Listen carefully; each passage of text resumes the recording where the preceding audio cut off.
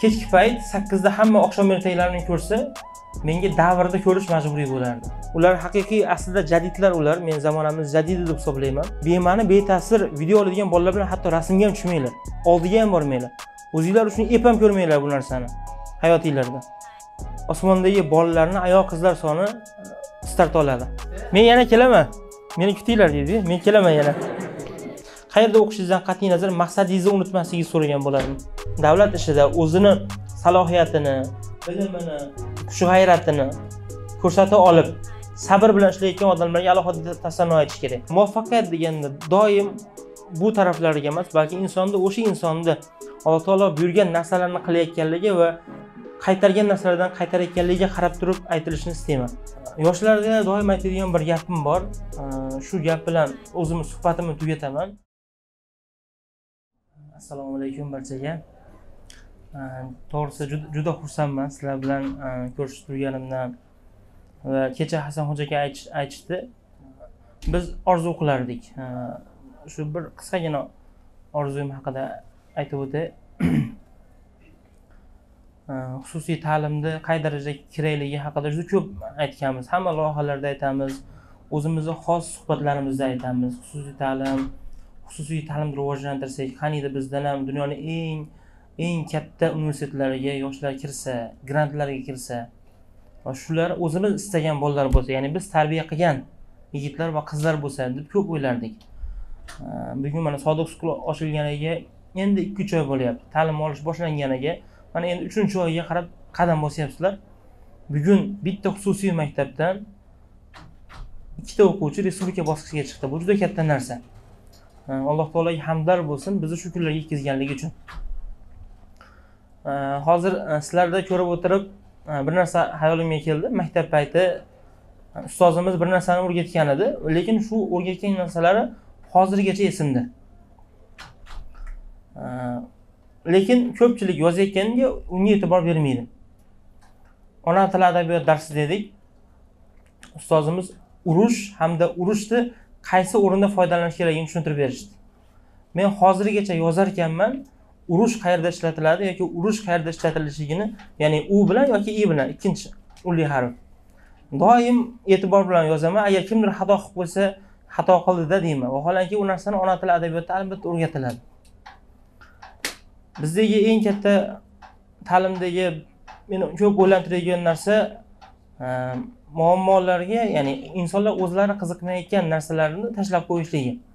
Vaholanki bugun maktabda sizga nima o'rgatilar ekan u albatta kerakli. Siz kabi vaqtda men eslayman. Nimaga afsuslanasan hayotda deb aytilsa bizga xuddi shu narsalarni o'rgatadigan odam bo'lmaganligiga afsuslanaman. Bu haqiqatda men aslida farg'ona viloyatini quva tumanidanman quva tumanida ham dehqonobod degan qishloq bor. Juda chekka joyda ochig'ini aytaman. Juda chekka joyda joylashgan. Bizni maktabda endi oddiy maktab. Bugun mana siz eng zamonaviy maktablardan birida ta'lim olyapsiz. Eng yaxshi ustozlardan ta'lim olyapsiz. Bu jamoa qanaqa mehnat bilan qurilayotganini siz juda yaxshi bilasiz. Chunki eng birinchi qaldirg'ochsizlar xudo xohlasa xuddi shunaqa bo'lasizlar. U maktabda imkoniyatlar u darajada bo'lmasa ham lekin ustozlarimiz bizga yaxshi ta'lim berishardi. Sinf rahbarimiz e, bugun sizga har kuni masalan har haftada bitta spiker kelib albatta nimadandir ma'lumot beryapti o'zlarini ko'nikmalarini o'rgatyapti. Bu juda katta narsa. Shu xuddi shu narsa bizda bo'lmagan. Agar orqaga qaytib yana nima qilishing mumkin edi deyilganda lekin o'sha paytda ham uyimizdan tumanni markazgacha quvani markazgacha sakkiz kilometr edi. Kompyuter degan narsa endi endi shakllanib borayotgan payt. Ikki ming oltinchi yil bo'lyapti. ikki ming oltinchi yil u paytda e, shaxsiy kompyuter bo'lish juda mahol narsa ya'ni juda qimmat narsa. Men kompyuter markaziga borib ya'ni faqat e, kompyuter soatxonligini o'rgatadigan markazga borib e, ota onamni ruxsati bilan ota onamni qo'llab quvvatlovi bilan ikki ming oltinchi yil o'rganganman. O'sha paytdan kompyuterga bo'lgan qiziqish boshlangan edi bu qayerdan paydo bo'ldi bu ta'limdan paydo bo'ldi. Qanday qilib? Biz bobomlar bilan birga turamiz. Bobomlar buvimlar bilan. Alloh ularni umrlarini uzoq qilsin. Kechki payt sakkizda hamma oqshom ertaklarini ko'rsa menga davrda ko'rish majburiy bo'lardi. U paytda hali yana aytaman bugun bu narsani siz haligi televizor ko'rish hech kim hozir televizor ko'rmaysizlar menimcha to'g'rimi? Sizlar ko'rmaysizlar televizor lekin bizni u payt axborot olishni eng tezkor uslubi bu televizor edi. Ya'ni internet degan narsa kilobaytlar bo'lgan payt u payt hali internetni faqatgina kompyuter internet kafelarga borib o'rgangan paytda eng yangi ma'lumotlarni faqatgina davrdan bilish mumkin edi. Davrda xorij xabarlari bo'lardi. Menga o'sha davr ko'rsatuvini yoshlarda beriladigan davr ko'rsatuvini ko'rish majburiy edi. Ya'ni davr boshlandimi? Albatta o'sha kanalga olinardi. Men men va ukalarim o'sha kanalda ko'rib o'tirishimiz kerak edi. Ayniqsa xorij xabarlari kelganda o'zim ishtiyoq bilan ko'rardim. Nimaga? Axborot texnologiyalariga oid nimadirlarni berib borardi.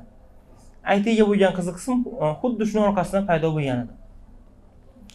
Bugun shu imkoniyatlar sizda bor. Vaqtdan unumli foydalanish ham ustozlardan bilim olish ham o'zinglar hurmat qilgan insonlarni fikrlarini eshitish xato qilgan joylarida ularni xatolarini bilish imkoniyati bor.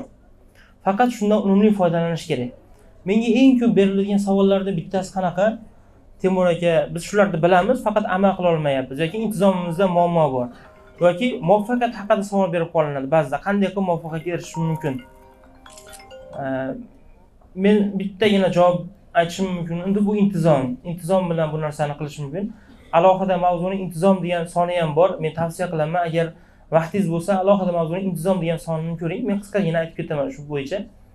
Hop keyin yaqinda bittasi biznes marafonda savol berdi. Men o'sha ko'rsatuvni ham ko'rdim intizom haqida bilaman ham shunga amal qilolmayapman qanday qilib intizom intizomli bo'lsam bo'ladi deb savol berishyapti. Intizomli bo'lishni qoidasi bitta deb hisoblayman. Avvalo maqsad to'g'irlab olish kerak. Ya'ni sizni maqsadingiz nima masalan misol qilib keltiraman. O'zinglarni sohanglardan kelib chiqqan holatda yaqinda sizlar o'zinglar ustozinglar bir qizimiz bir ming besh yuz sakson ball olishdi ma'rifat jamila. Bu juda yuqori natija va hasanxo'jaga aytishyapti agar bu yuqori ball bilan eng yaxshi universitetlarga grant berish mumkin. O'zinglar uchun maqsadlar belgilab olinglar avvalo ya'ni maqsad nima? Agar dan eng yuqori ballda olish bo'lsa ayni o'sha maqsadlarni dedlayn beringlar. Ya'ni qachon olaman shuni ballni? Shuncha muddatda. Ho'p o'sha ballni olishligim uchun qancha harakat qilishim kerak? Ya'ni oylarga bo'lib yuboringlar. Oylarni haftalarga haftalarni kunlarga kunlarni soatlarga bo'lib yuboringlar va har kuni mana shu jarayon bo'yicha ketyaptimi yoki kuninglar yoki yo'qmi? Shuni doimiy nazorat qilib boringlar. Mana shu narsa intizom bo'ladi. Lekin u narsa agar bo'lib chiqilmasa qog'oz qalam qilinmasa bunday imkoniyat yo'q deb hisoblayman. Natijaga erishishlikni eng yaxshi uslubi bu maydalab tashlash va maydalangan narsalarni har birini doimiy tarzda hisobotini olib borish. Bu nisbatan osonroq bo'lgan uslubi. Yoshlarga doim aytadigan bir gapim bor. Shu gap bilan o'zimni suhbatimni tugataman shundan keyin savol javob tarziga o'tamiz har bir yoshni e, boshida bir toji bor. Ko'p joyda aytganman lekin shuni takrorlashni istayman. Oltindan bo'lgan toj. Bu sizga ko'rinmaydi. Agar siz bugun oltindan bo'lgan tojingiz bo'lganda boshingizda har hech kimga bermas edingiz chunki u qimmat noyob narsa bo'ladi. Va sizni o'ylashingiz kerak bo'lgan uchta tuyg'u bor. Oltin tojga uchta o'sha so'zlar yozib qo'yilgan. Bu millat vatan din. Bu nima degani? Siz o'zingizdagi boshingizdagi tojda agar oltindan bo'lganda bermas edingiz mana shu uchta tuyg'u uchun siz yashashingiz kerak. Ya'ni millatingizni vataningizni diningizni doim qayg'urishingiz kerak. Inson bu dunyoga kelib faqat mashina yoki uy olib bo'ldi shu bilan o'tib ketaman deyishlik uchun kelmagan. To'g'ri bu narsalar ehtiyoj. Albatta bir kun inson uchun kerak bo'ladi. Bu narsalar qilish ham kerak. Lekin insonlarda maqsadlari doim shu joyga kelganda to'xtab qoladi. Hozir misol uchun agar ko'pligiga savol bersa albatta bitta universitetga kirish kerak. Keyin yaxshiroq bir martabali joyga ishga kirish kerak. Moshina olsa uy olsa ota onasini hajga yuborsa undan keyinchi desa bo'ldi tugadi. Ho'p undan keyingi maqsadchi? Nimaga bugun hasan xo'ja aka qilganlar misol uchun aziz aka qilgan yoki boshqa bir insonlar qilayotgan xayrli ishlarni balkim siz ham davom ettirarsiz? Ya'ni maqsadni xuddi shunaqa qo'yish kerak degan fikrdaman. Agar maqsadlar xuddi shunaqa qo'yilsa ya'ni inson ehtiyojidan boshqa millatini vatanini dinini rivojlantiradigan o'z oldiga maqsad qo'ysa unga erishadi. Faqat niyat to'g'ri bo'lsa bo'ldi. Men so'zimni qisqa qildim chunki boshqa yana nimalarimiz bor. Agar savol javob tarzida bo'lsa sizlarda qandaydir masalalar bo'lsa shunaqa savol javob qilsak masakon bo'lardi. Hop mikrofon siz beraverasizlar. Nima savol qiziqtirgan o'zinglarda bo'lsa beraveringlar bemalol. Ular ko'proq narsa kutishibdi bizdan ko'proq gapiradilar ko'proq eshitamiz deb o'ylavdim o'shaning uchun chunki e, boshqa spikerlarimiz ham shunaqa formatda edi endi temurbek o'zi hayotda shunaqa. Biz bir yarim yildan beri bir tanisak bir birimizni ko'p gap emas. Dangal konkret va bo'ldi. O'sha formulani eng qaymoq joyini gapiradilar. Uni amal qilgan odam bilyapti.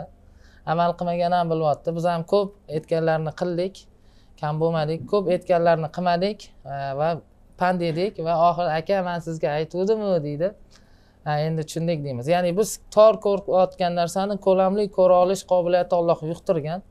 Shuning uchun ko'p ishlarimizni boshlashdan oldin maslahat qilamiz so'raymiz fikrlarini olib keyin shuni qarab bismillah deb e, tavsiyalarni yo'lga qo'yishga harakat qilamiz. Shuning uchun sizlarni hayotda nimadir qilyapsizlar o'xshamayapti. Qanaqa qilishni bilmayapsizlar. Qildinglar noto'g'ri berdi natija. Yoki savolinglar javobi ochiq qolgan bo'lsa yoki boshqa ustozlarga berdinglar javobini olgan bo'lsanglar ham qayta so'rashinglar mumkin. Nimaga? Chunki muvaffaqiyat doim bitta yo'l emasda hammani o'zini tajribasi yo'li orqali yangi usulda bo'lishi mumkin. O'shani yana mustahkamlab o'zinglarga ishonch hosil qilib qo'yishinglar mumkin bo'ladi. Bemalol ya'ni savol so'rashinglar mumkin turib bemalol savol so'rasanglar bo'ladi labay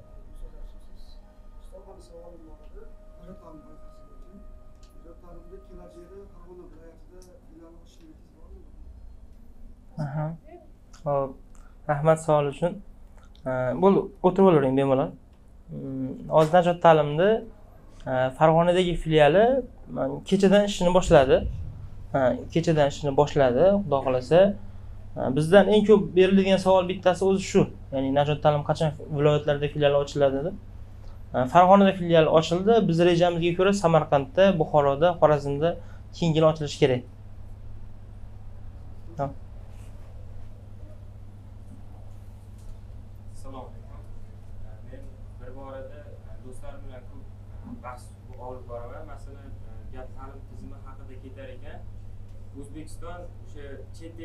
Ellar darajamandi biz xohlaymiz angliyada e, e, amerikada germaniya haqida davlatlarda o'qish xohlaymiz.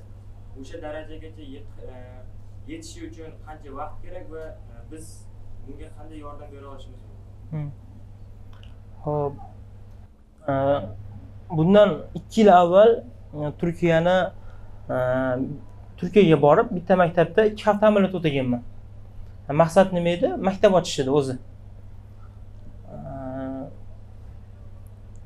Ho'p keyin maktab direktori bilan ikki haftadan keyin suhbatlashib o'tiribmiz. Ular ba'zi ma'lumotlarda aytdi. Turkiyada birinchi maktab usmoniylar paytida bir ming to'qqizinchi yilda xususiy maktab ochilgan. Germaniyani xususiy maktabi ochilgan usmoniylar paytida. Bu bu degani qancha bo'ldi degan bir yuz yigirma ikki yil avval. O'shanda u maktab bir yuz yigirma yilligini nishonlayotgan edi. Ikki yil avval ekan o'sha biz borgan paytimizda bitta xususiy maktab o'zini bir yuz yigirma yilligini nishonlayotganda va bugun turkiyada jami ellik mingdan oshiq xususiy maktab bor. O'zbekistonda mana shu xususiy maktablar soni adashmasam endi yana uch yuzdan oshdi. Va biz xususiy maktablarda natijalarini endi endi bilishni boshlaymiz. Ya'ni xususiy maktablar o'zini natijasini ko'rsatishligi uchun kamida o'n yil vaqt kerak. Bu minimal muddat. Ya'ni bugun sizlar ayni ta'lim olayotgan yoshlar. Nima uchun xususiy ta'lim? Ya'ni aytishinglar mumkin davlatni o'zi ham hammaga xuddi shunaqa ta'lim berish kerakku deyishinglar mumkin. Davlat u xuddi shu narsani o'zi ham biladi. Ular ham harakat qilyapti lekin bugun ta'lim tizimida besh yuz mingdan oshiq xodim bor. Va besh yuz mingdan oshiq o'qituvchini xalq ta'lim vazirligi maksimal harakat qilsa ham birdan va tizimli boshqarishlik uchun juda ko'p mashaqqat qilish kerak. Bitta narsani o'zgartirish uchun yillar kerak. Bu iloji yo'q narsa. Ho'p endi savol bo'lishi mumkin. Biz shunday qolib ketaveramizmi? Nima bo'ladi bundan keyin deyilsa siz kabi yoshlar ya'ni umuman eng millatni eng yaxshi yigitlari va qizlari ta'lim sohasiga kirib borishlari kerak. Bu xususiy tarzda bo'lsin yoki davlat tartibida bo'lsin buni farqi yo'q. Asosiysi o'zgartira olish. Bitta misol keltiraman. Hop balki sizlar yoshsizlar buni bilmassizlar kamolot degan tashkilot bo'lardi avval. Hammani tanqidida bo'lardi ishoning. Agar ijtimoiy tarmoqda biz o'z vaqtida faol bo'lingan payt faqat tanqid faqat tanqid va yana faqat tanqid. Undan keyin yoshlar ittifoqiga o'zgardi yana xuddi shunaqa bo'ldi. Hamma nimaga? O'z- o'sha tizim o'sha tizimda odamlar ko'p xato qilib qo'yardi. Ya'ni haq bilib turibdi xato qilib qo'yaverardi undan keyin o'sha tashkilotga yosh rahbar kirib keldi. Kim bu? Alisher sadullayev. Bugun yoshlar agentligiga birorta tanqidni ijtimoiy tarmoqda ko'rmaysiz ommaviy tanqidni. Agar mabodo kimdir tanqidiy narsa yozsa ham alisher kirib albatta javob beradi va muammoni hal qiladi. Ya'ni bitta yosh odam bitta tashkilotga bo'lgan hamma negativni yo'qota oldimi? Yo'qota oldi. Bu nima degani? Demak yoshlar qiyin bo'lsa ham biz ko'p yoshlar bilan misol uchun shaxsan o'zimga nima aytiladi? Nimaga davlat ishida ishlamaysizlar yoki nimaga kirib bormaysizlar o'ziga yarasha mashaqqati bor. Masalan hamma ham buni ko'tara olmasligi mumkin. Lekin bugun davlat ishida davlat ishida o'zini salohiyatini bilimini kuch g'ayratini ko'rsata olib sabr bilan ishlayotgan odamlarga alohida tasanno aytish kerak. Ya'ni biz istayotgan odamlar. Alisher kabi arboblar davlat arboblari ko'payarkan vaziyat yaxshilanib boraveradi. Ya'ni bundan boshqa rahbarlar ham bor. Lekin biz alisherni o'zimiz bilganimiz uchun o'zimiz tengqur yigit bo'lganimiz uchun va bugun qilayotgan islohotlarni ko'rayotganimiz uchun misol qilib keltirdim.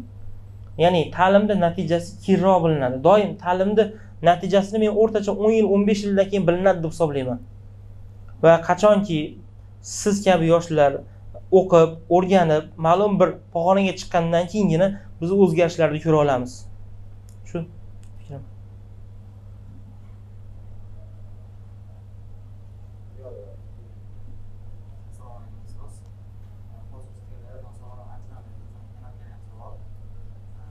ya'ni biz ta'lim tizimida ya'ni Norin haqida Xorasonda salohiyatini juda yaxshi bilamiz Norin haqida yetishib chiqqan olimlarni Xorasonda yetishib chiqqan olimlarni ya'ni manfaatparvarlarni imom buxoriylarni o'sha paytda lekin o'sha davrda o'sha qiyinchilik davrida shunaqa yetuk insonlar bizda yurtimizda yetishib chiqqan hozirgi davrda bo'lsa bunaqa insonlar yetishib chiqsa qiyinchilik tug'dirmoqda.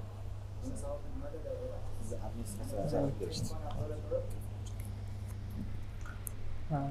shu kabi suhbat ya'ni juda yaxshi savol bo'ldi rahmat savol uchun bemalol o'tirishingiz mumkin.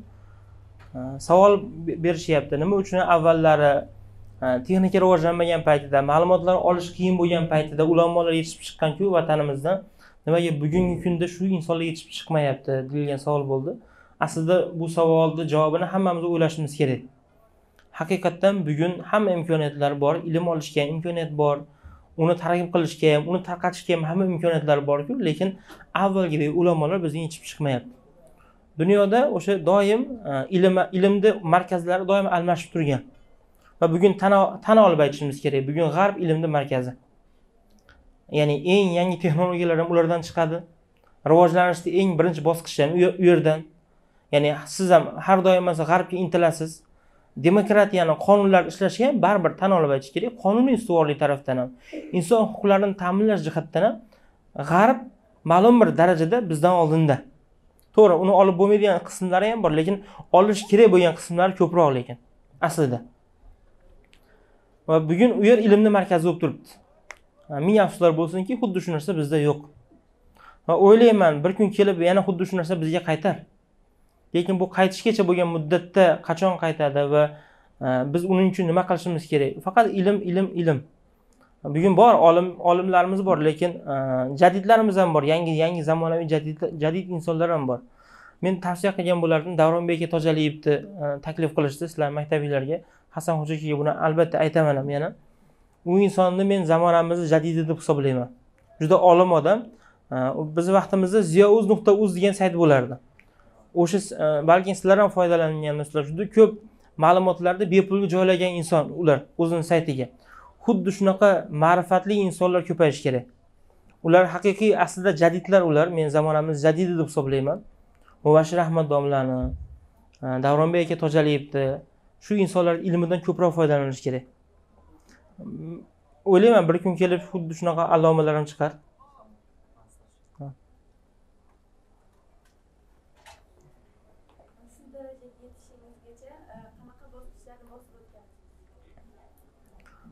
hop hali hech qanaqa darajaga yetishmadim lekin hozir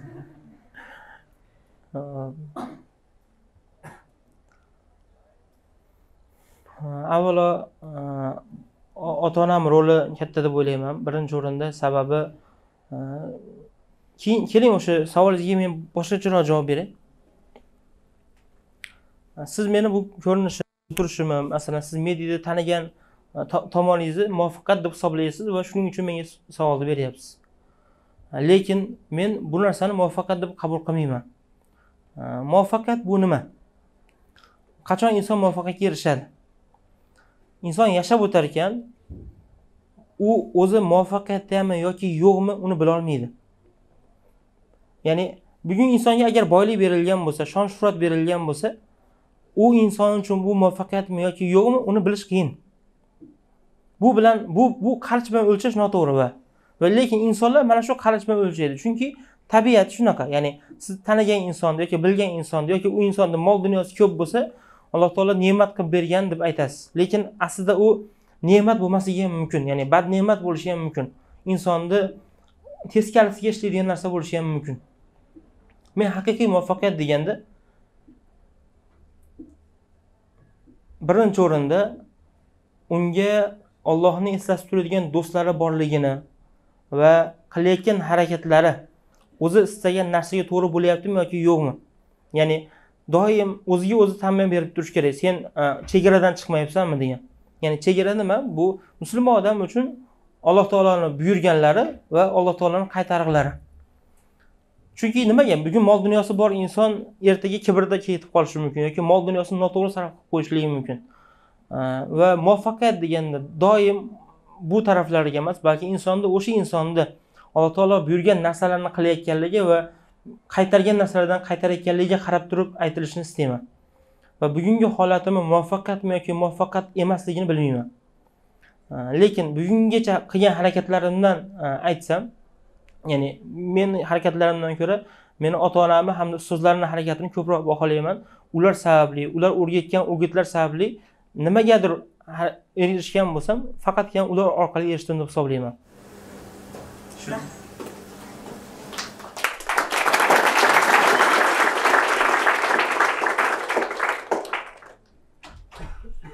Assalomu alaykum ustoz. Em, Sizga birinchi bo'lib tashakkur aytmoqchiman, chunki bu yerga kelishimga sababchi avvalo avvalo Alloh va sizni juda ham katta sababchi deb o'ylayman, chunki alo- o'sha alohida mavzuda ham va osmondagi bolalar kanalida ham Hasan birinchi marta chiqqanlarida o'sha videoni ko'rganimdan keyin fikrlash doiram juda ham oshib ketgan va xohlayman ustoz sizga juda ham katta tashakkur aytishni va savolim shundan iboratki ustoz o'zim o'zim ham o'sha farg'ona viloyati qishlog'idanman va hozir ichimni yondiradigan narsa va ko'plab ustozlarimizni ham ichini yondiradigan narsa yoshlarni o'zlari o'ylashdan ko'ra e, ya'ni boshqa narsaga chalg'ib ketayotganlari. Ya'ni mayli o'sha farg'ona viloyatidan e, beshta oltita qiz kelgandir bu maktabga boshqa yaxshi xususiy maktablarga ilmga shuncha qiz borgandir va undan tashqari judayam ko'p o'quvchilar bor.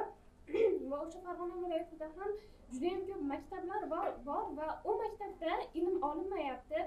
U maktabda bolalar o'quvchilar ilmni emas boshqa narsalarni o'ylashadi tengdoshlar yaqinda farg'onaga borib keldim va sinfdoshlarimdan e, eshitgan narsamni ko'rib hayratdan yoqa ushladim ustoz ular umuman boshqa narsalar haqida o'ylashyapti va ustoz bizga nasihat qiling va ota onalarimizga ham nasihatmi mm, yoki iltimosmi qiling. Ustoz o'zgaraylik ozgina. O'sha farg'onadagi bolalar ham ko'rishsin shunday maktablardagi bolalar ko'rishsin va ozgina bo'lsa ham ta'sirlanib o'zgarishsin rahmat savolingiz uchun. Savolga qancha javob berdim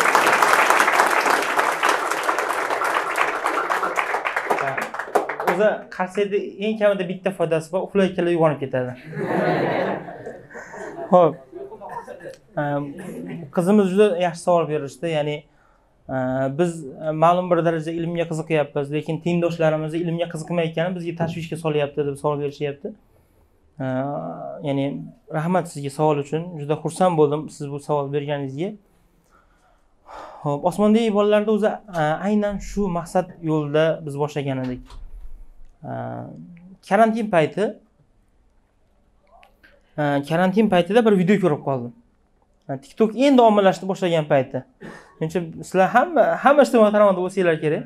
Sizlarda avlod shunaqa ya'ni hamma ijtimoiy tarmoqda bor. Z avlod adashmasam z avlod hisoblanasizlar a? Hmm, z avlod hamma haligi bizdan yaxshi bilasizlar ijtimoiy tarmoqda ya'ni mutaxassislardan ham yaxshi bilasizlar hatto.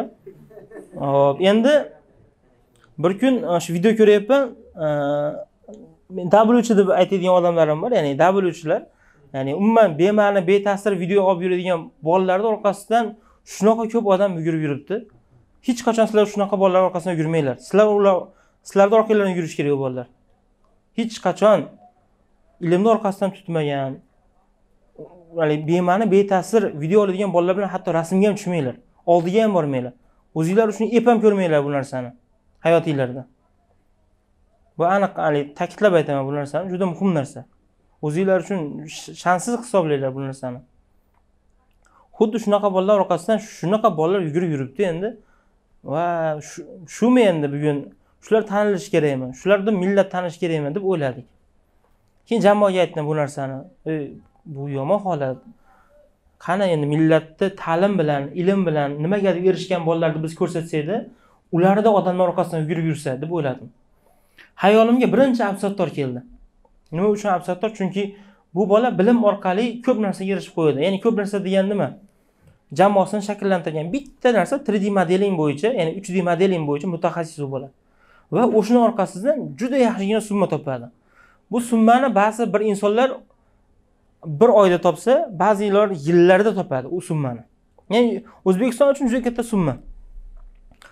Va u orqali ota ona ota onasiga nimadir yaxshiliklar qilgan o'ziga yaxshiliklar qilgan e, malibu olgan va malibu olganini doim qo'yib borardi. Birinchi shu boladan boshlaganmiz. Osmondagi bolalarni birinchi shu bola bilan syomka qildik va youtubega joyladik. Va men e, jonli efirda ketayotgan paytida premyerada agar o'n mingta ko'rilsa keyingi sonada chiqadi deb yozib qo'yibmanda. Chunki najot talimdan youtubi bor. Biz doim videolar qo'yamiz. Bir oyda o'n ming ko'riladi. Premyera tugagandan keyin shunday qarasam video o'n ming ko'rib bo'lingan ekanda. Ya'ni favqulodda men hayotda kutmagan narsamda bu. Keyin absattor endi o'quv markazi ochgan payt edi. Ochiq dars qildik absattorga E, ishonasizlar mingga yaqin bola keldida. Va va tugagandan keyin absattorni yarim soat oldin yaqinlasha olmadim. Yarim soat nimaga? Hamma o'rab oldida. Shunaqa xursand bo'lib ketdim u joyda. Endi dedim bundan keyin haftasiga ikki haftada bir marta chiqaramiz loyihani deb keyin shunaqa bo'lib ketdi. Biz tanimagan odamlarimizni tanidik. Ya'ni eng ko'p mana bugun hasan xo'ja akami boshqa odamlarni juda ko'p ilm sohiblarini ilm bilan nimagadir erishgan yigitlarni biz loyiha olib chiqdik. Va bugun sizlarga yana bir xursandchilik aytaman. Nasib qilsa yaqin bir oy ichida osmondagi bolalarni ayol qizlar soni e, start oladi. Va biz bir oy ichida eng ilm bilan nimagadir erishgan qizlarni ommaga taqdim qilishda ularni muvaffaqiyatini ko'rsatishni boshlaymiz. Qizlar juda ko'p so'rardi mendan shu narsani. Hamma joyda biz ya'ni chunki ayol qizlar uchun alohida odam kerak. Bugun nimaga? Ilm bilan nimaga erishgan ayol qizlar tanimaysizlar chunki ular ijtimoiy tarmoqda yo'q.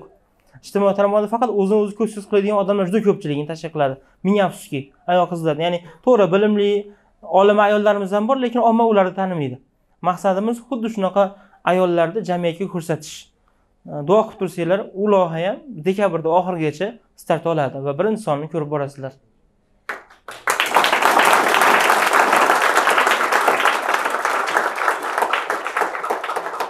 Javob yaxshi bo'lsa ham bo'lmasa ham qarshi turaveringlar uyg'onib turishadi.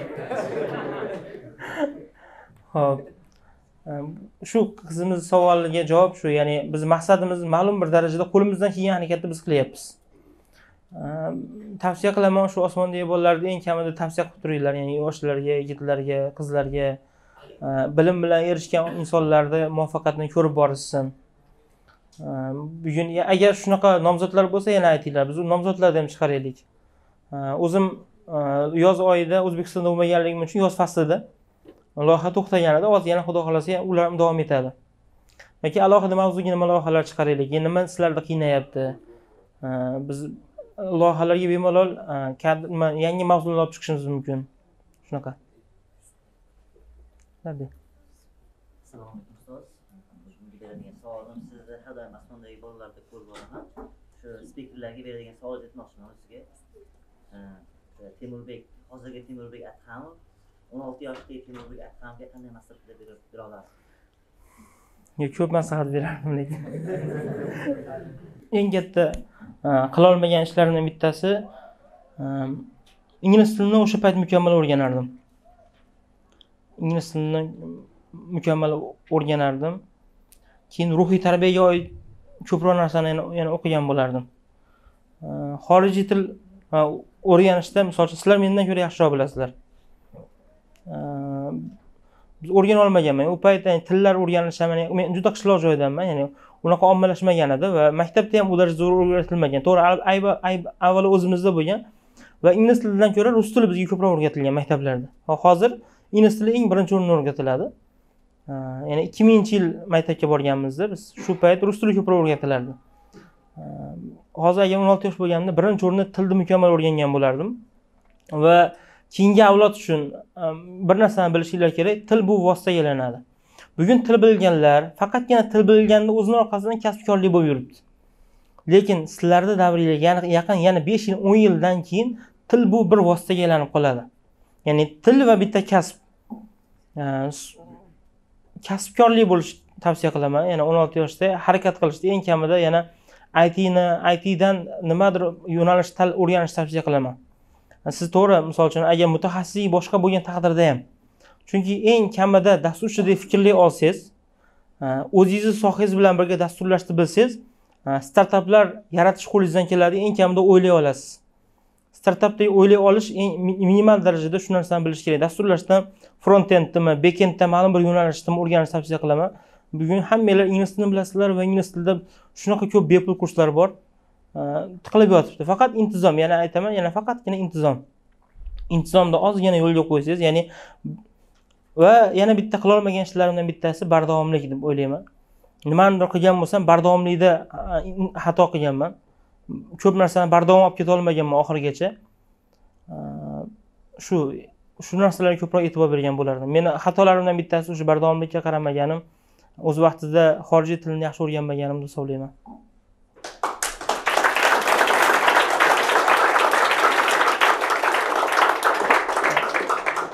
Uyg'otib turganinglar uchun rahmat. Assalomu alaykum ustoz ustoz har bir inson o'zini oldiga maqsad qilib qo'yadi. Shuni maqsadlar bo'ladi ularga erishish mumkin yoki orzu bo'lishi mumkin ustoz siz shu paytgacha qo'ygan maqsadlaringga qanchalik darajada erishdim deb o'ylaysiz? Ochig'i haligi ortig'i bilan erishdim. Ya'ni men hayotimda haligi bu bu bu, kabi hodisalar bo'lib ketishini kutmagandim ochig'i. Ya'ni hammasi allohni fazlidan va alloh taoloni barakasidan deb hisoblayman. Hech qachon najot ta'lim loyihasini qilayotganimizda ham osmondagi bolalarda qilayotganimizda ham bu darajada nimadir bo'lib ketishi mumkinligini o'ylamasdim. Bu nima nimadan bo'lishi mumkin deyilsa faqatgina barakadan boshqa narsa emas. Ya'ni inson bu ishni qilolmaydi. Masalan men osmonda najot ta'limni youtube kanali bor. Najot ta'lim youtubiga bir yuz ellikdan oshiq video qo'yganimizda bir oyda o'n ming ko'riladigan videolarida. Osmondagi bolalarni biz ya'ni niyatni xolis qilgan holatda ya'ni moddiy narsa hol- niyat qilmagan holatda boshlagan edik bir oyda yuz ming yuz ming ko'riladigan darajaga chiqib ketdi. Biz uni umuman kutmaganmiz ham. Bunaqa bo'ladi deb o'ylamaganmiz ham. Yoki najot ta'limda bugun najot ta'limda hasan man hasanxo'ja aka aytyapti ikki ming o'quvchiga ikki ming vaholanki ikki yarim mingta o'quvchi o'qiydi bugun. Bugun haligi holati boshqa jarayoni va biz biz sababli bir oyda yuzlab bolalar ishli bo'ladi. Najot ta'limda o'tgan yili davomida o'tgan yili noyabrgacha sakkiz yuzdan oshiq bola bitirib ishli bo'lgan edi. Bu yil dekabrgacha bir yarim mingta bola ishli bo'lyapti. Tasavvur qilyapsizda bu qancha oilalar kambag'allikdan chiqib ketadi bu orqali. Va alloh taolo bizni shunga sababchi qilayotganidan xursand bo'lamiz va bugun nimagadir erishgan bo'lsak faqatgina allohni fazlidan va barakasidan deb bilamiz.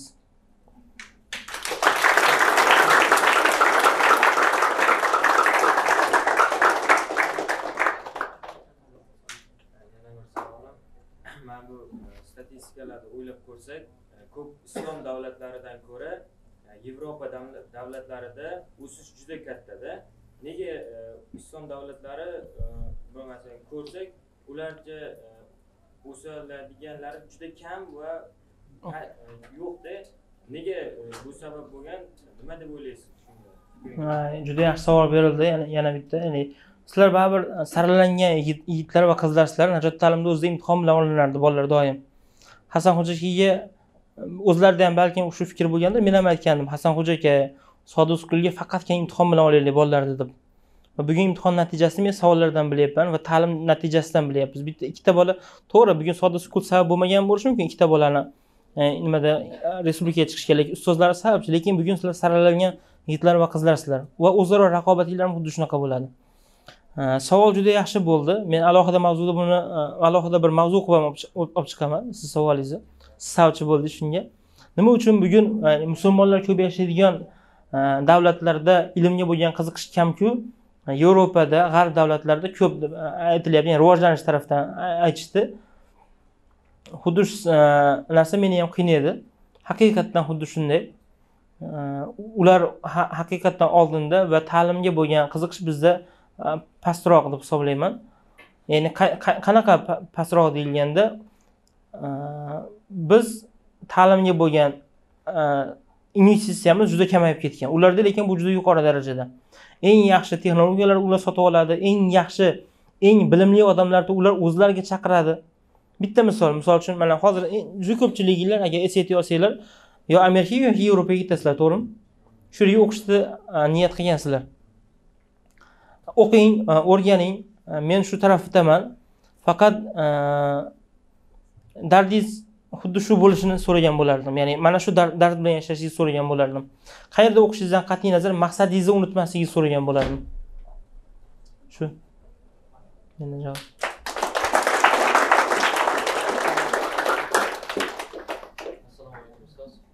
Osmondagi bolalarda ko'p aytasiz bolalar e, o'qishga kirish uchun o'qishadi. Hmm. oliy ta'lim kirish uchun o'qishadi. Biz ham bu yerga ko'pchilik soliq sodiq o'qishni o'qish topshirgandan maqsad oliy e, chet davlatlardagi top universitetlarga kirish. Ya'ni biz kirish uchun SAT olsak kirish uchun IELTS olsak kirish uchun portfolio tayyorlasak keyin bizda ham kirib bo'lgandan keyin o'q- e, o'qimasligimiz kafolat kafolatlab qo'ymaydi bu narsa? Yaxshi savol. Berdingiz rahmat sizga. Men ko'proq tanqid qiladigan narsam siz u sohaga kirmaysiz avvalo aytay. Insonlar ko'proq diplom uchun kirishini ko'p tanqid qilamiz. Ya'ni oliy ta'limga bo'lgan harakatini emas. Oliy ta'limga kirishga bo'lgan harakatni qo'llab quvvatlayman faqatgina e, ba'zi o'quvchilar bo'ladi qayerda bali past ekanda izlab yuradi? O'sha joyga topshiraman deydi. Uning uchun yo'nalish ham qiziq emas qayerga topshirayotgani ham qiziq emas. Bali muhim balidan ham eng pasti muhim. E, shunaqalar ko'proq tanqid qilinadi. Ya'ni siz kabi bugun dunyoni eng yaxshi universitetiga kiraman u yerda o'rganaman e, vatanim uchun millatim uchun dinim uchun manfaat olib kelaman degan yigit va qizlar emas va men u kabi yigit qizlarni ya'ni sizlar kabi yigitlar va qizlarni faqat qo'llab quvvatlayman. Soat nechi bo'ldi? Soat soat nechi bo'ldi? Soat ko'rib olasizmi besh. Ikkita savoldan keyin tugatamiz qizlarga beraylik. Ikkita demak ular ancha men yana kelaman. Meni kutinglar deydi men kelaman yana. Qizlarga beraylik ikkita savolni. Bering bering assalomu alaykum man bermoqchi bo'lgan savol xos o'z erkizda o'zbekistonda ilmga bo'lgan investitsiya kam yoki yoshlar universitetga qanaqadir bali eng past qaysi ekanini qidirib yuradi aytiz endi najot ta'lim keyin alohida mavzu shularga qaraydigan bo'lsak o'zi kuzatadiganlar ko'pchilik ilmga qiziqadiganlar bo'ladida ya'ni ilmga qiziqmaydiganlar juda yam kamchilik kuzatadi ularni qanaqa qilib qiziqtirish mumkin masalan man o'zim oldingi maktabimda ko'rganim bu maktabda emas oldingi maktablarimda sinfda yo'q man bitta yoki ikkita o'rtog'im qiziqadi shunaqa narsaga yoki o'qiydi o'rganadida lekin kamchilik bilan butun o'zbekiston o'zgarmaydi. Va ularni ham qanaqadir to'g'irlash kerak nimadir qilish kerak? Men dard bir bir. Dardim bo'lgan savolni berdingiz. Ochig'i. Meni qiynaydigan narsani berdingiz siz ham ya'ni ho'p. Yaqinda biznes marafonda vodiy turi bo'ldi. Shunda qatnashdim. Yo andijonda yoki namanganda bir yigit aytdi o'zi bunday dard bilan kelyapti men bildim. Yoshi kattaroq bir yigirma beshdan oshgan yigit e, hayotini gapirib berdi. Umuman umri rossiyada o'tgani boshqa. Va e, bir gap aytdi men o'z o'zimdan alohida mavzudan rozi bo'lib ketdim. Alohida mavzuda rossiyaga ketaman degan soni chiqqanda bu maqsad nima edi? Qora mehnat uchun rossiyaga iloji boricha ketmaslikka targ'ib edi. Bugun e, shu video syomka qilinyapti. Shuning uchun yana bir bor takrorlab aytaman. Bugun oilasini boqishlik uchun tirikchilik uchun halol mehnat qilib chet elda boqa halol- halol mehnat qilib chet elda xizmat qilayotgan insonlardan avvalo alloh rozi bo'lsin. Ya'ni hech qachon men ularga ta'na doshnom aytmayman. Maqsadimiz asosiy ustuvor vazifa rossiya bo'lmasinda balki shu yerda o'qish o'rganish bo'lsin. Rossiyaga borsangiz ham oliy toifali inson bo'lib boring. Qora mehnat uchun emas balki ilm orqali nimagadir ishlash uchun boring degan maqsadda video qilgan edik bir yigit aytdi menga temurbek aka men o'sha videoni ko'rganimdan keyin rossiyaga ketish fikridan qat'iy qaytib hozir it o'rganyapman dedi. Men o'sha va- o'sha gapni eshitishim bilan loyihadan rozi bo'ldim. Bir kishi o'zgargan bo'lsa ham bu qizimiz savol beryapti. Ya'ni bugun osmondagi bolalar yoki alohida mavzu kabi loyihalarni faqat ilmga qiziqayotgan yoshlar ko'ryapti deb. Men istagan bo'lardim. Balki xuddi shunaqa loyihalarni siz ham qilarsiz. Agar hammamiz bittadan bittadan odamni o'zgartirganimizda ham minglab yoshlar o'zgarishligi mumkin. Bu meni harakatim edi. Ya'ni meni va jamoam harakati edi. Ya'ni bu loyihalar balkim xuddi shunaqa yana loyihalarni boshqalar qilar. Ya'ni boshqalar xuddi mana bitta oddiy misol. Hasanxo'ja akam osmondagi bolalar orqali taniganlar qo'lini ko'tarsin. Mana. Sal salkam yarim inson hasanxo'ja akamni osmondagi bolalar orqali tanigan ekan. Ishonasizmi? Men shunaqa xursandman shu narsadan. Va bugun sizlar o'zgartiruvchi inson bo'lib shu yerda o'tiribsiz. To'g'rimi? Ya'ni nasib qilsa men istayman ya'ni o'zingizdan o'zingiz rozi bo'lmang. Agarki millatingizga vataningizga diningizga birorta yaxshilik qilolmasangiz to'g'ri bu gap boshqacharoq eshitilishi mumkin. Ya'ni men nima majburiyatim bor? Oilamni tinch saqlasam ibodatimni qilsam bo'ldida ishlab yursam deyishingiz mumkin to'g'ri. Siz shunaqa bo'lib o'tib ketishingiz ham mumkin. Lekin bugun nimadir o'zingizdan qoldirishingiz ham mumkinda. Ya'ni xuddi shunaqa qilib jamiyat o'zgaradi. Qachon? Hammamiz o'zimizdan nimadir qoldirishga nimadir yaxshilik qilishga va evaziz sizga hech qanaqa manfaat bo'lmasa ham nimadir yaxshilik qila oladigan darajaga chiqsangiz unda tom ma'noda biz o'zgaramiz va bunaqa insonlar hayotda ko'payishi kerak. Kecha hasanxo'ja aka bilan gaplashyapman menga aytishyapti. Temurbek men ertalab yetti yetti yarim sakkizda boraman kechqurun o'nda chiqaman. Hasan hasanxo'ja akani birorta odam hech kim majburlamaydi. Hozir umuman kelmasa ham bo'laveradi to'g'risini aytaman. Shartnoma qilib bo'lgansizlarda qo'pol eshitilishi mumkin bu gapim hech kim majburlamaydida. Masalan lekin ular kelib harakat qilyapti. Nimaga deganda u yaxshi ko'radi ta'limni. Ya'ni bugun ta'lim sohasida ayniqsa xususiy ta'lim sohasida men aziz akani bilaman jahongirlarni bilaman shunchaki yaxshi ko'rganidan qiladi. Ular shunchaki ta'limni sevadi.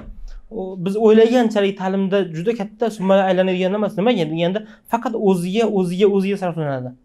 Bugun najot ta'mi ochilgandan beri biz xuddi shu tempda ishlaymiz faqat yana o'ziga sarflaymiz o'ziga sarflaymiz. Xuddi shunaqa uslubda.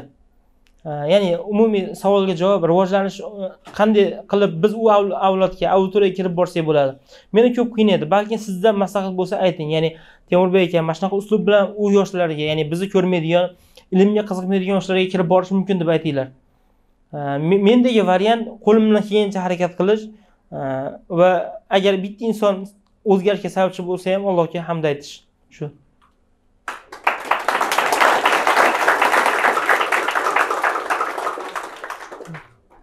keyin boya aytdingiz ayollarni ham qizlarni ham shu bilimli ilmli ayollarimizni ham qizlarni ham ommaga tanittiramiz dedik shu islom dinida ya'ni ko'pchilik shuni oladida ayollarimiz berkitishimiz kerak mana tanitishimiz kerak emas chiqadiga ko'rsatishimiz kerak emas ilmli bo'lsa uyida ilmini olib o'tirursan deydi ko'plar o'sha narsaga nima deysiz ya'ni.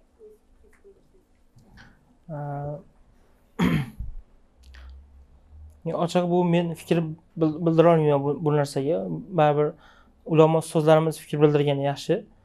Agar ikrom aka yana kelib sizlar bilan uchrashuv qilishadiku ulardan birov so'ragan yaxshi. Men e, lekin men nimani istayman o'zim istagim aytib o'tsam lekin bu savolga aniq o'lchov bilan javob berish kerakda aniq ilm bilan. Ya'ni bu, bu joyda shaxsiy fikr ketmaydi aslida lekin men istaydigan narsam e, olima ayollarda bilimli ayollarni jamiyat ko'proq tanisin bilsin ayol qizlar shularga havas qilsin. Kecha bir yaxshi savol javob bo'ldi. E, ularni ham chaqirsa bo'ladi nimaga? E, Andijonda zahriddin muhammad bobur nomli maktab bor ekan va ularni direktoriga savol berilyapti andijonda. Opa bitta savol bor edi. Mana e, nima uchun deyapti? E, erkaklardan juda ko'p tadbirkor chiqadida ayollardan yo'q degan savol bo'ldi. Endi ko'pincha men qanaqa javob eshitaman? Avvaldan javoblar aytay.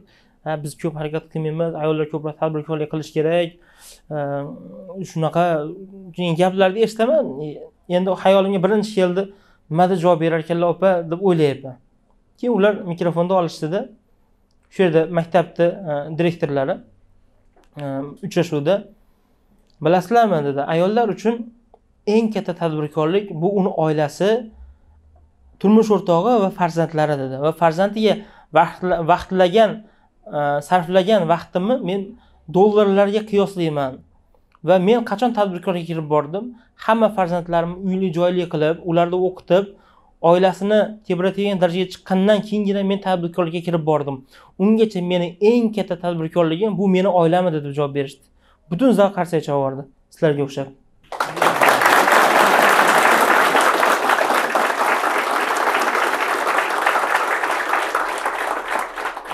Aslida haqiqiy tadbirkorlikni men xuddi shunday deb hisoblayman ayol kishi uchun ham. Lekin bilimli ayollarda olima ayollarda ayol qizlar ularni ko'rib ibrat olishligi uchun omma ularni tanish kerak deb hisoblayman. Bu meni albatta shaxsiy fikrim. Lekin siz aytayotgan javobni ikrom aka javob bersalar siz bergan savolga javobni ancha maqsadga muvofiq bo'lardi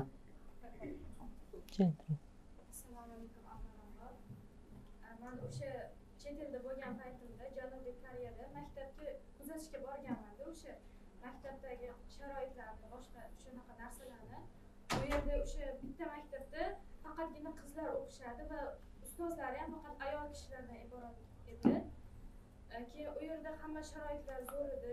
E, o'sha ta'lim sifati ham juda yam yaxshi edi va u yerda e, xuddi bizdek bizdagidek o'sha obed o'sha anaqalar berishardi.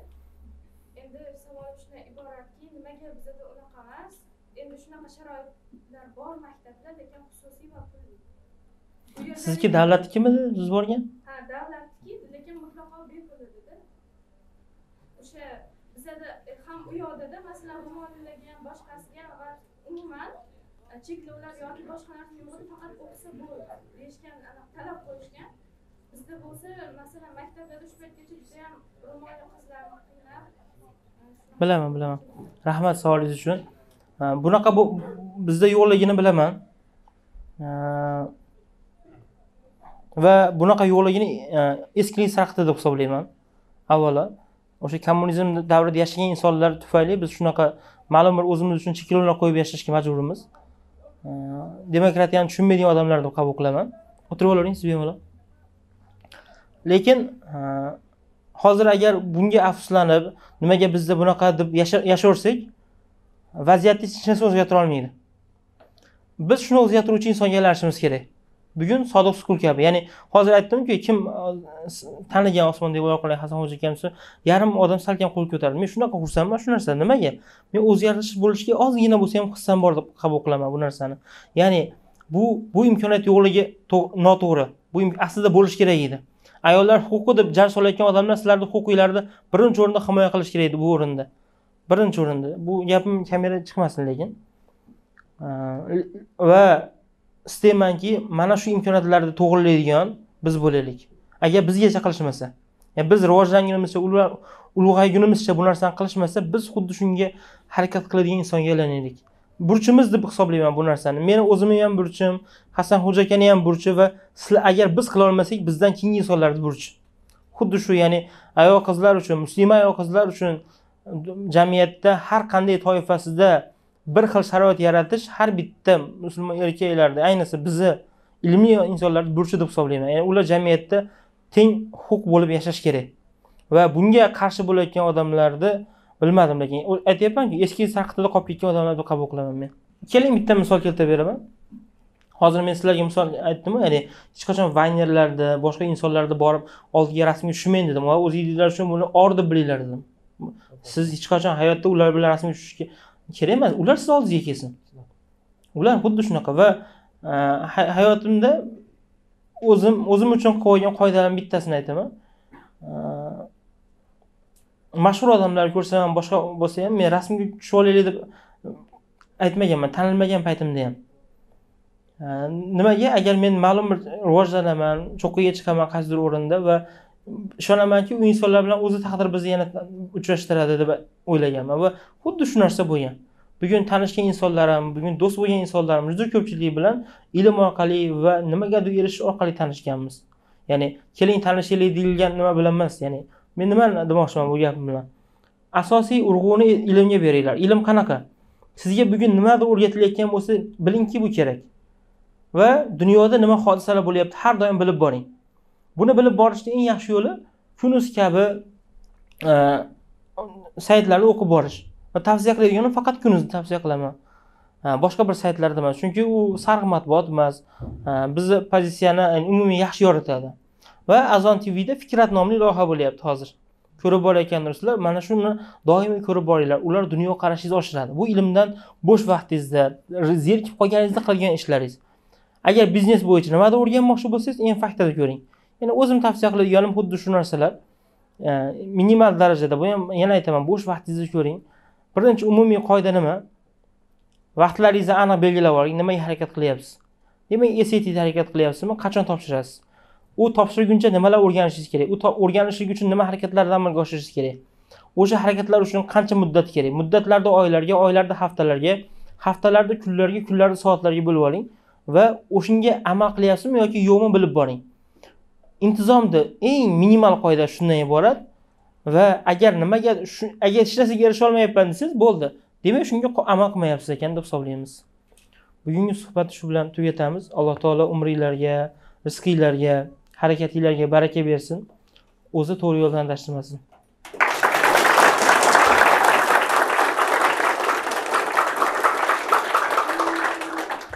yakunlab qo'ymoqchi edim va e, yaxshi mavzuni ochdilar sizlarni darajanglarni o'zinglar belgilaysizlar bular hayotda sizlar borib vaynerlar bilan rasm tushadigan saviyadamisizlar yoki ular sizlar bilan kelib rasmga tushadigan saviyadamisizlar buni hozirgi harakatinglar bilan kelajaginglarni hal qilasizlar.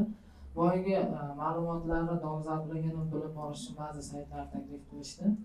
Man endi balki aytishga hojat yo'qdir balki hammanglar ko'rib chiqqandirsizlar. Sizlar hayotda endi kirib kelayotgan pozitsiyaga ega bo'layotgan maqsadlar aniqlashtirilayotgan yoshdasizlar aynan shu yoshda sizlarga tavsiya qilardim osmondagi bolalar mana yigirmadan ortiq sonda chiqqan bo'lsa har bitta sonni ko'ringlar. Ko'rganda ham maydalab ko'ringlar. Bir o'tirganda ikkita uchtasi emas bittasini alohida alohida ko'ringlar. Bu yerdagi odamlar sizlarga nima demoqchi? Dardi nima? Sizlarga nima xato qilganini sizlarga oldindan aytib beraman uni xulosalar ortida ko'ringlarki o'shalar qilgan xatolari sizlar qilmanglar ular qilgan to'g'ri yo'llarga muvaffaqiyatga tezroq yetinglar degan chiroyli ko'rsatuv qilingan. Aynan shu ko'rsatuvni mohiyati aslida yoqadi chunki karantinda beradilar bu g'oya qayerdan keldi desa karantinda nimaga ilmli odamlarni o'zini qahramonlarini nimaga intilish mumkin bo'lgan havas qilish mumkin bo'lgan yoshlarni xalq tanimaydi ayb o'zimizdadir ya'ni boyagi muammoni hamma gapirishi biladi lekin yechim sifatida biz nima berdik degan savolni oldilariga qo'yganlar va o'zlari bilan e, sheriklari yonlarida hamkor do'stlari bilan osmondagi bolalar degan ko'rsatuvga asos solingan maqsad nima edi. Hamma uni oldiga boryapti hamma buni oldiga hop kimni oldiga boray desa o'sha savolga javob yo'q haqiqatda. Kim oldiga bor desa bilmaydi unga borsa u kim u deydi tanimaydi va shuni tanishtirish maqsad qildilar va mana bir o'zlari shaxsan o'zlari ortlarida mana ummatga chiqib hozir xizmat qilayotgan muhammad ali shonqulov davronbek turdiyev e, jahongir po'latov.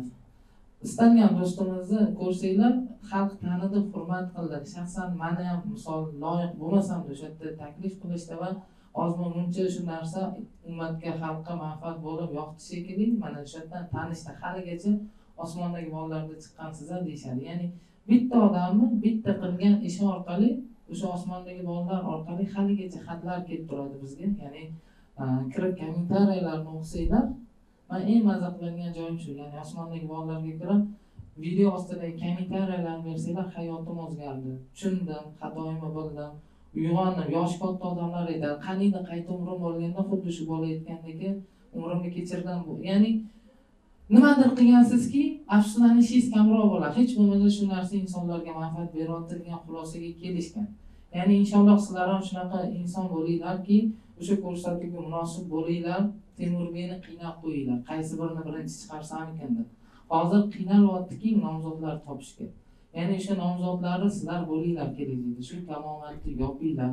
Ichinglardan qaysi birini tanlashni bilmay qolsin. Ya'ni bizni bilasizlar kichik gruppamiz bor selfmade degan o'sha yerdagi o'zimizni do'stlarimizni yaqinda bir ajoyib post qo'yildi kelajakda kim bo'lmoqchisan kimga o'xshamoqchisan desa man haqiqatda ko'zimga yosh keldi bu narsa qalbimdan nimaga hamma aytadi ilon mask deydi deylik mumkin deylik zamonamiz qahramoni insoniyat hayotini o'zgartirayotgandirlar amir temur deydi kimdirlar sahobalar hayotini aytadi o'tmishdagi odamlar bitta yosh bola aytyaptiki o'n yosh atrofidagi bola temur adhamov bo'laman deb.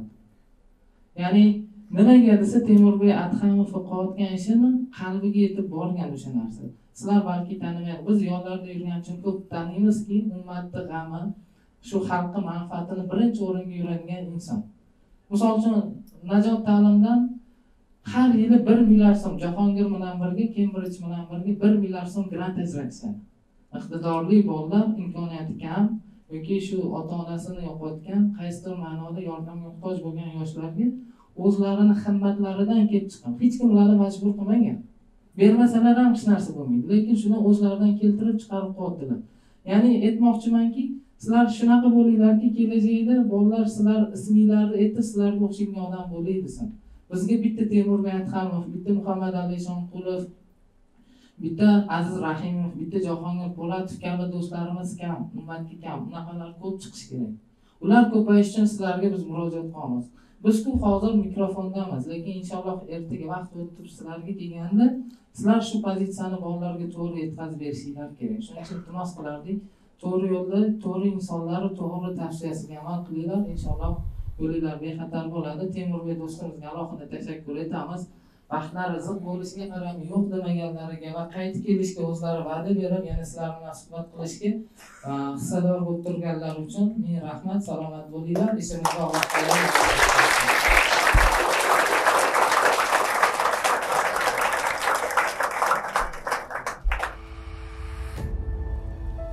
Sodiq School. Biz ilmga sodiqmiz. Biz sizga sodiqmiz.